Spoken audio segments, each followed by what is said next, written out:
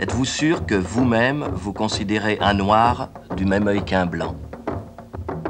Ce couple que nous avons filmé dans les rues de Paris à l'insu des passants, comment le regarderiez-vous, vous? Avec surprise? Avec mépris? Avec dégoût?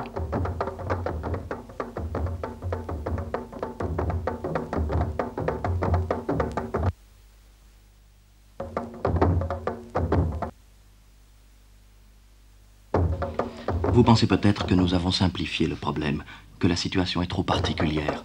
Nous n'avons pas choisi au hasard cette situation. Elle est l'une des plus révélatrices qui soit. C'est un test, si vous voulez.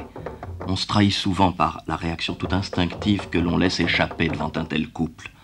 Vous le voyez en ce moment, vous allez l'entendre dans quelques instants. Il est difficile de le nier, le préjugé racial existe en France. En général, il n'est pas agressif. Il s'agit seulement d'un certain regard, d'une certaine façon de s'exprimer. Monsieur, je vais vous poser quelques questions. Je vais vous demander de me répondre. Euh, S'il vous plaît. Vraiment spontanément, cherchant quelle est la réponse que vous donneriez si les choses vous arrivaient. Si un étudiant chinois venait vous demander une chambre à louer, à supposer que vous en ayez une, est-ce que ça vous gênerait de la lui louer? Pas du tout, au contraire. Est-ce que si votre fille venait vous voir en vous disant qu'elle veut épouser un noir, ça vous paraîtrait gênant? C'est déjà beaucoup plus délicat. C'est beaucoup plus délicat. La chambre, c'est une chose. Et sa fille, c'est. Justement, j'ai une fille qui a 18 ans, qui passe son baccalauréat maintenant. Ça demande réflexion. Vous savez, c'est pas comme ça en deux secondes que je pourrais. C'est comme ça que ça arriverait. Elle viendrait, elle vous dirait non, parce que je connais ses fréquentations. Alors, euh, ça demande tout de même euh, un, noir. Peut-être, peut-être je dirais non. Peut-être. Cette petite fille ici, quand elle sera grande, elle venait vous voir en vous disant Papa, je voudrais épouser un noir. Comment est-ce que vous réagiriez? Mais je crois que la réaction serait plutôt enfin, un peu amère parce que c'est pas qu'on veuille pas les noirs, mais enfin, malgré tout, je ne sais pas, il me semble que ça ferait quelque chose auprès des amis, auprès des parents, de dire tiens, il a une fille qui se marie avec un noir. Mais il me semble que, après tout, après les avoir connus, ces gens-là, peut-être ce sont des gens, euh, enfin, très bien, quoi. Ce serait dur, mais si vraiment elle y tient, on ne peut pas les contre. Vous êtes pour la liberté Oui. Madame, si votre fille vous annonçait qu'elle veut épouser un noir, est-ce que ça vous gênerait? Euh, un petit peu, monsieur, parce que je suis blonde et elle aussi. Alors euh, vraiment, il y a une différence de, choses, mais enfin, je ne peux pas dire que ça me ferait très plaisir quand même. Vous essayeriez de la faire revenir sur sa décision? Oui, je crois. Qu'est-ce que vous lui diriez? Ben, Je lui dirais que il y a des blancs quand même sur la terre. Qu'il y a des choses qu'il ne faut pas confondre. Oui, il ne faut pas confondre. Mais enfin, je ne les méprise pas du tout. J'estime que nous sommes des frères, les noirs et puis les blancs. Quel âge avez-vous, mademoiselle 15 ans et demi. Vous comptez vous marier un jour Oui. Est-ce que vous envisageriez d'épouser un noir Non. Non. Vous n'y avez jamais pensé Non, jamais.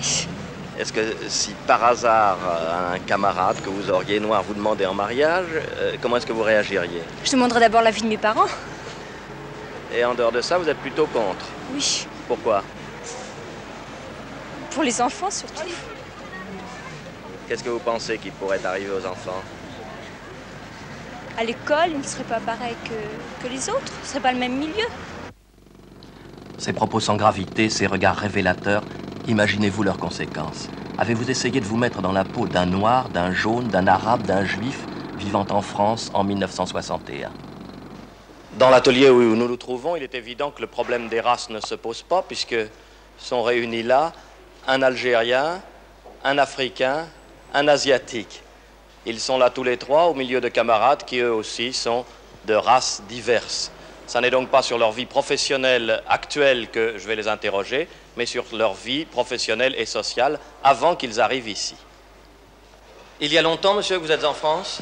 Oui, depuis 1950.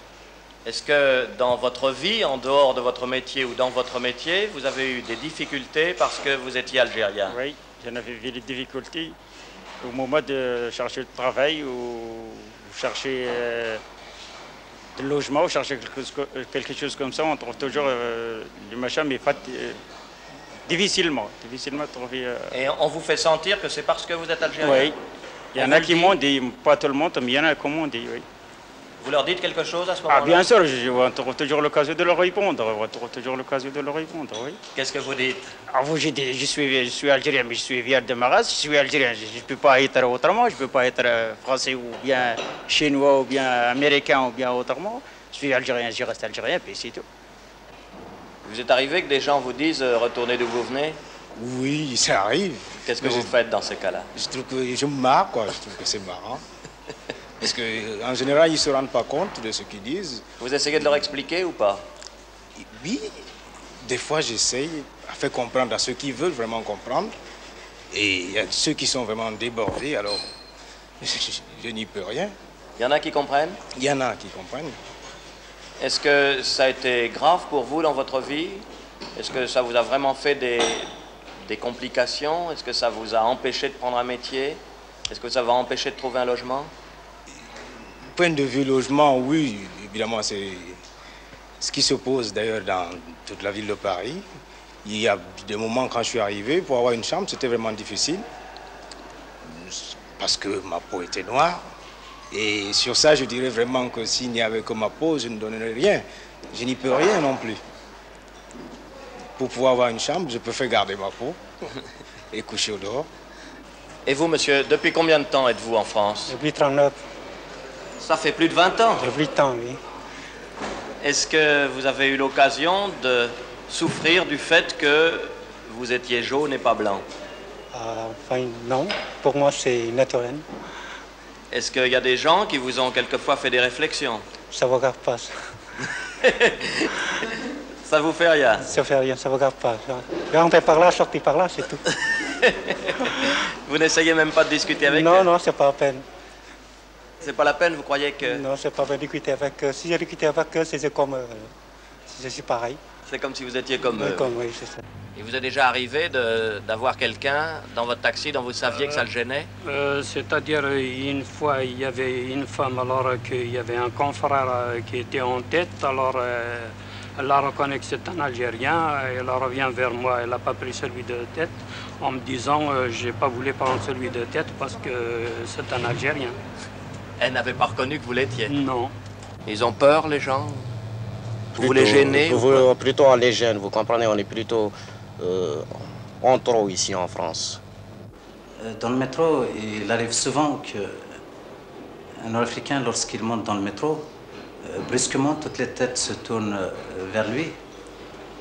Sur certains visages, on remarque soit le mépris, soit une espèce de haine. Et puis, chez d'autres, on remarque juste le, regard observateur, en quelque sorte. Vous, qu'est-ce que ça vous fait à l'intérieur? Au début, ça m'a choqué, parce que je me demandais si, je n'étais pas une bête de zoo. Et puis, petit à petit, euh, j'ai trouvé ça normal, ou presque. Évidemment, peut-être maintenant, les conditions actuelles euh, politiques, euh, ils sont pour quelque chose. C'est même probable. Vous les sentez aussi avoir une action sur les rapports que vous avez avec les gens, les conditions actuelles Les conditions politiques Oui. Oh oui, mais ça, ça s'explique, qu'est-ce que vous voulez? Il faut bien, tant, tant que nous sommes en guerre, et je ne sais pas, je, crois qu'il est normal que, que certains Français euh, qui ne sont pas complètement informés ou pas très bien informés euh, éprouvent une certaine haine d'adversaire à adversaire, vous comprenez? Mais ça, c'est une mauvaise information, bien sûr, je suppose. J'ai eu l'occasion d'effectuer un stage dans une entreprise. Et après avoir discuté avec les directeurs sur les modalités du contrat, etc., tout marchait très bien. Et finalement, il m'a fait savoir qu'il n'était pas question que je sorte avec une fille de la maison. Ce que je trouvais absurde par la question elle-même. D'autant plus que c'est la première fois que j'avais un contact personnel avec ce monsieur-là. Alors je trouve que cette attitude provient uniquement du racisme. Et vous pensez que dans ce cas-là, il n'y a rien à faire? Il n'y a rien à faire vu qu'on a affaire à un directeur d'entreprise qui, contrôle, si vous voulez, 100 ou 200 personnes, euh, qui économiquement, socialement est très bien assis. Non, il n'est pas possible de discuter avec ce, ce genre de personnes. Si votre fille rentrait chez vous et vous disait euh, Papa, je voudrais épouser un noir, est-ce que ça vous gênerait? Réellement, ça ne me plairait pas du tout. Maintenant, si c'était son désir, je laisserais faire. Vous discuteriez un peu avec elle Oui, certainement. Qu'est-ce que vous lui diriez? Ah, je lui dirais que c'est pas sa place, premièrement. Je n'aime- ce que je n'aime pas ça pour moi personnellement, et je pense que pour elle, ça n'irait pas, ça pourrait la gêner dans son avenir. C'est bien, c'est bien ce que vous vouliez savoir. Oui. Est-ce que euh, si un jaune venait se présenter chez vous, vous louez une chambre, il se présente chez vous, est-ce que ça vous gênerait de lui louer une chambre? Je, répondrai, je répondrai non. Ça ne vous gênerait pas? Ah non, je vous dirais, je ne Vous louerai pas. répondriez non. Je Pourquoi répondrai non, pour la bonne raison, je suis allé dans ces pays-là, j'ai pu les juger. Vous n'aimez pas ces gens-là Est-ce que euh, vous considérez, vous, que euh, vous faites du racisme, vous êtes raciste? Moi, je ne suis pas raciste. Vous n'êtes pas raciste Pas du tout. Est-ce que vous êtes anti-raciste? Est-ce que si quelqu'un vous est raciste, euh, vous Je n'aime vous pas, je pas quelqu'un qui combat une race sous aucun, sous, je dirais par exemple, euh, par atavisme ou, que- ou par haine, par exemple. Que quelqu'un n'aime pas une race, c'est d'accord, c'est permis à tout le monde. Madame, je vois que vous avez une nombreuse famille. Oui. Vous avez des filles? Non. Que des garçons. Que des garçons. Si un de vos garçons revenait un jour en vous disant qu'il veut épouser une jeune noire, est-ce que ça vous gênerait? Non, je m'y opposerai parce que j'ai un frère qui est dans l'aviation belge qui a été tué par les Noirs au Congo au mois de juillet. Alors le fait là, ça me laisse toujours un souvenir, je vous dirais, désagréable. Avant une chose comme ça, est-ce que vous l'auriez envisagé? Non, je ne l'aurais pas envisagé parce que je crois qu'il ne faut pas mêler les races. Pourquoi? Parce que je crois que ce sont, font met au monde des individus qui sont, euh, qui sont détestés des Noirs et détestés des Blancs. Je crois que le métis n'est pas une chose à souhaiter. Vous croyez que ce serait pour leur malheur? Je le crois. Est-ce que vous considérez qu'il y a un problème juif en France? Oh, Je crois que le problème juif est un problème mondial actuellement. Qu'est-ce que vous en pensez, vous? Écoutez, moi personnellement, je ne suis pas euh, suffisamment peut-être à la hauteur pour le juger, mais je ne les apprécie pas beaucoup. Je ne leur ferai aucun mal, si vous voulez, mais enfin, autant j'aimerais pas que mon fils épouse un noir, mais je ne verrais pas d'un très bon gré s'il épousait euh, une juive. Vous trouvez que les catégories doivent rester entre elles? Je crois. Je crois qu'autant possible. Il faut laisser les niveaux entre eux, parce que sans ça, on fait des déclassés, je crois. Est-ce que vous estimez que vous êtes raciste? Non, je ne suis pas raciste et je trouve que tout ce qui se passe maintenant, euh, je suis d'avis de mettre les blancs avec les noirs dans les écoles. Je ne trouve pas qu'il faut les traiter comme des bêtes et les torturer parce qu'ils sont noirs. Parce que malgré tout, euh, ils n'y peuvent rien. Madame, vous avez des filles? Trois. Trois? Oui. Quel âge ont-elles? 26 ans, 13 ans et 5 ans. Si celle qui a 13 ans venait vous voir dans 5 ans à peu près et vous disait Maman, je voudrais épouser un noir, est-ce que ça vous gênerait? Ça me gênerait beaucoup et ça ne me plairait pas. Pourquoi? Parce que j'estime que chaque race doit rester entre elles. Est-ce que si vous aviez une chambre à louer et qu'un Chinois venait se proposer pour l'occuper, ça vous gênerait? Oui, beaucoup. Pour les mêmes raisons? Pour les mêmes raisons, Vous exactement. n'aimeriez pas cohabiter? Non. Est-ce que vous avez l'impression que vous êtes ce qu'on appelle raciste? Pas tout à fait, non, mais j'estime que chacun doit rester à sa place. Est-ce que euh, vous estimez qu'il y a un problème juif? Ça, il a toujours existé. Sous quelle forme? Il y a eu des divergences d'idées. Il y en a qui sont pour, d'autres qui sont contre. Moi-même, je vous dis, euh, j'estime que chacun doit rester à sa place. Un point, c'est tout. Et que les juifs ne sont pas comme les autres? Pas plus les juifs que les noirs. Chacun doit rester chez lui. On a peut-être un peu plus de place en France pour élever nos enfants. C'est au nom de ces principes que se font les croisades, les guerres de religion, les massacres de population. Ne pas croire à l'égalité des races, c'est justifier par avance la persécution et le génocide. Est-ce que vous croyez, monsieur, à l'égalité des races? Euh, non, absolument pas. Je suis persuadé qu'il y a des races qui sont supérieures à d'autres races. Mais je crois aussi que chaque race est persuadée de la supériorité de sa race et du groupe ethnique auquel il appartient sur les autres. Vous, vous croyez donc à la supériorité de la race blanche Euh, ne disons pas de la race blanche, disons euh, d'une manière encore plus limitative aux blancs de culture occidentale. Vous croyez à la supériorité de ce groupe ethnique sur les autres Euh, oui, et c'est, je crois, une chose tout à fait normale. C'est une chose tout à fait normale parce que quand on a été élevé euh, selon certains principes et qu'on a adopté ces principes, on veut forcément qu'ils soient les meilleurs du monde. Quand on a été élevé euh, pendant, euh, depuis tout enfant jusqu'à l'âge à peu près d'homme, en entendant dire que la Joconde était le plus beau tableau du monde, on ne peut pas ne pas penser que la Joconde n'est pas le plus beau tableau du monde. On en est persuadé, et et on est persuadé qu'à côté de cela, l'arc-mer, par exemple, ou les statues euh, venant d'Indonésie, euh, sont moins belles. Est-ce que vous vous souvenez d'une circonstance où vous vous êtes senti plus, disons, raciste que les gens qui vous entouraient? Euh, oui, plusieurs, mais enfin, euh, c'en est une très précise qui me revient à l'esprit. J'avais été invité à la naissance d'un bébé.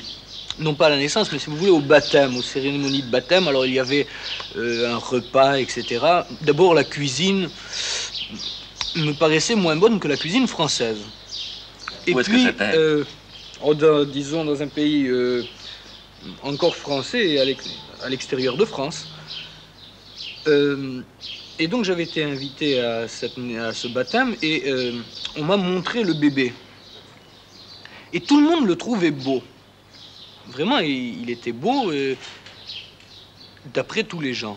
Et bien vraiment, euh, même en m'y forçant, je n'ai pas pu le trouver beau parce que il ne correspondait absolument pas à, à ce que j'attendais au point de vue beauté d'un bébé.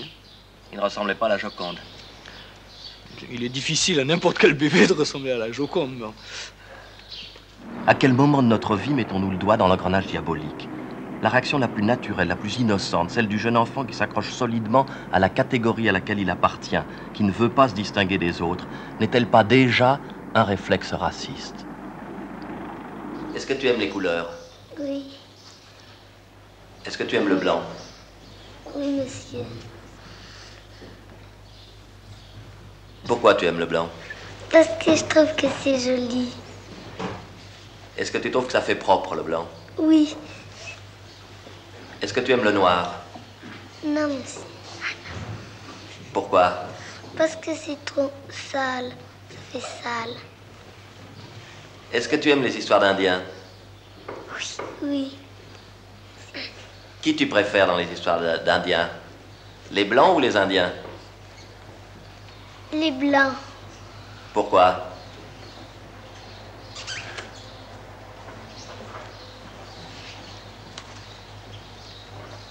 Quand on préfère quelque chose, on a des raisons. Pourquoi tu préfères les blancs? Parce que j'aime mieux ceux qui sont pareils que nous.